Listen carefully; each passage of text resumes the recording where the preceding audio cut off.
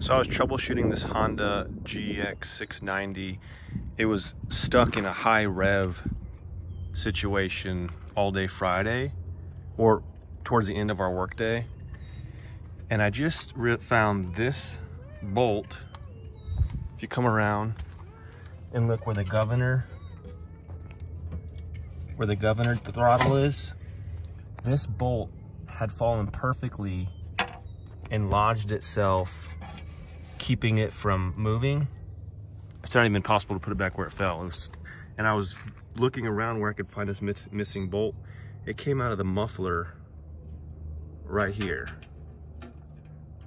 So if you've got that high rev, obviously it could be a bunch of different things, but this was a crazy scenario where this bolt got lodged, fell perfectly right in there and was keeping on high rev. Hope this helps.